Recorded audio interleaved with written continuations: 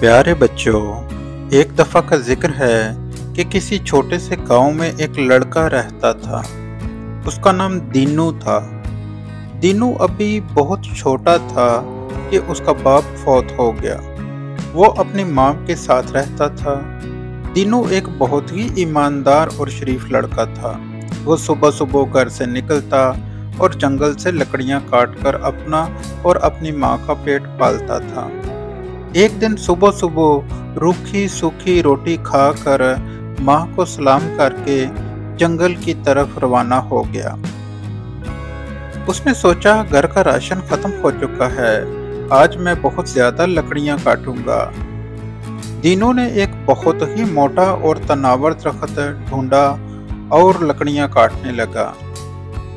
उस दरख्त के पास ही बहुत बड़ी झील थी। लकड़ियाँ काटते काटते तीनों का कुलखाड़ा हाथ से छूटकर पास से गुजरती हुई झील में जा गिरा। दिनों बहुत परेशान हुआ और सोचने लगा कि ये कुलखाड़ा उसकी रोजी कमाने का वाहिद ज़रिया था, जो अब उसके पास नहीं रहा था। अब वो घर का सामान कैसे खरीदेगा और माँ को क्या जवाब देगा? ये सोचकर दीनू झील के पास बैठकर रोने लगा। दीनू ज़ोर ज़ोर से रो रहा था कि उसी झील के अंदर एक बहुत ही प्यारी सुनहरी मछली अपनी दादी के साथ रहा करती थी।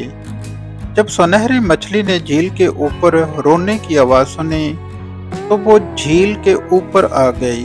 सुनहरी मछली ने एक छोटे लड़के को रोते देखा तो पूछा तुम क्यों रो रहे हो? दीनू ने सुनहरी मछली को बताया कि इसका कुल्हाड़ा झील में गिर गया है, जिससे वो लकड़ियाँ काट कर गुजारा किया करता था। ये सुनकर सुनहरी मछली ने कहा, तुम मत रो, मैं तुम्हारा कुल्हाड़ा तलाश करती हूँ। यह कहकर सुनहरी मछली अपनी दादी अम्मा के पास आई और सारी बात बताई। सुनहरी मछली की दादी अम्मा ने कहा कि मुझे वो लकड़हारा बहुत गरीब लगता है। तुम उसे अपना सोने का कुल्हाड़ा तोहफे में दे दो। सुनहरी मछली ने सोने का कुल्हाड़ा लिया और लकड़हारे के पास आकर कहा, ये लो तुम्हारा कुल्हाड़ा। दीनू ने जब अपने लोहे के कुल्हाड़े के बजाय सोने के कुल्हाड़े को देखा तो उसने कहा, ये मेरा कुल्हाड़ा नहीं है। मेरा कुल्हाड़ा तो लोहे का था। सुनहरी मछली अपनी दादी अम्मा के पास वापस आई और उसे सारी बात सुनाई।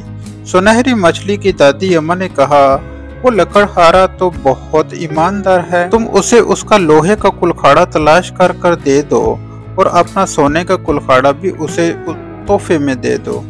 सुनहरी मछली लोहे का कुलखाड़ा तलाश करने लगी, जो उसे जल्द ही मिल गया। वो दोनों कुलखाड़े लेकर तीनों के पास आई। और कहा यह रहा तुम्हारा लोहे का कुलखाड़ा और ये सोने का कुलखाड़ा तुम्हारी ईमानदारी का इनाम है। दिनों दोनों कुलखाड़े लेकर बहुत खुश हुआ और सुनहरी मछली का शुक्रिया अदा किया। घर वापस आकर दीनू ने सारा वाक्य अपनी माँ को सुनाया। उसकी माँ बहुत खुश हुई। दीनू ने उस सोने के कुलखाड़े से एक लकड़ी काटी। जैसे ही दीनू ने सोने का कुलखाड़ा लकड़ी पर मारा वो सोने की बन गई। दिनू बहुत हैरान हुआ। जहाँ भी वो सोने का कुलखाड़ा मारता, वो चीज़ सोने की बन जाती। इस तरह देखते ही देखते सारा घर सोने में तब्दील हो गया। दिनों और उसकी माँ बहुत खुश हुए और ये सब दिनों की ईमानदारी का इनाम था। दिनों के हमसाए में एक बहुत ही मगरूर और लालची औरत और उसका बेटा रहते थे। जब उन्हें इस बात का इल्म हुआ कि दिनों को झील में सुनहरी मछली ने एक सोने का कुलखाड़ा दिया है, जिससे उसका घर सोने में तब्दील हो गया है तो वो औरत अपने बेटे के साथ लोहे का कुलखाड़ा लेकर झील पर आ गई और अपने बेटे को समझाने लगी कि तुम जानबूझकर अपना लोहे का कुलखाड़ा झील में फेंकना। फिर जैसे ही सुनहरी मछली ऊपर आए उसे कहना कि मेरा कुल्हाड़ा झील में गिर गया है। मैं बहुत गरीब लड़का हूँ और अगर वो लोहे का कुल्हाड़ा लेकर आए तो उसे कहना, ये तो मेरा कुल्हाड़ा नहीं है। मेरा कुल्हाड़ा तो सोने का था। ये सारी बातें सुनहरी मछली ने सुन ली और वापस आकर अपनी दादी अम्मा को बताई। उसकी दादी अम्मा ने कहा, मुझे ये औरत और लड़का लालची मालूम होते हैं। तुम उन्हें अपना जादू का कुलखाड़ा दे दो ताकि उन्हें लालच की सजा मिले। सुनहरी मछली अपनी दादी अम्मा के कहने के मुताबिक जादू वाला सोने का कुल्हाड़ा ले आई और उस लड़के को कहा कि ये तुम्हारा कुल्हाड़ा है। उस लड़के ने कहा हाँ ये मेरा कुल्हाड़ा है। जो झील में गिर गया था, मुझे मेरा कुल्हाड़ा वापस दे दो। जिसे पाकर वो लड़का और उसकी माँ बहुत खुश हुए। उन्होंने आकर जिस भी चीज़ पर उसे मारा, वो टूट गई। थोड़ी देर में घर की हर एक चीज़ टूट चुकी थी। ये देखकर लड़का और उसकी माँ बैठकर रोने लगे।